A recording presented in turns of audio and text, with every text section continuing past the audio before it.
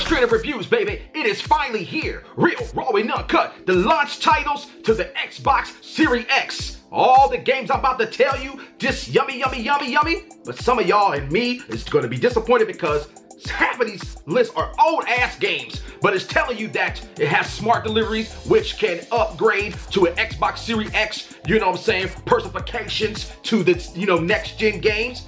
We got Assassin's Creed Valhalla, we got Borderlands 3, we got Cuisine Royale, we got Bright Memory, we got Dead by Daylight, we also got Evergate, we got Fortnite, once again, yes, NBA 2K21. Man, what about a boxing game, Fight Night or something? We got Enlisted, got Gears 5, Gears Tactic. We also got the Falconeer, King's Eye Oddball, Observer System Redux. Once again, Sea of Thieves, hoorah! We got Forza Horizon, already been released. We Ori and the Will of the Wisp, Planet Roller Coasters, Tetris Effect, Devil May Cry Special Edition, and Dirt 5, The Touryst, Warhammer, Chaosbane, I already have it. War Thunder, pow! We got Yakuza like a dragon.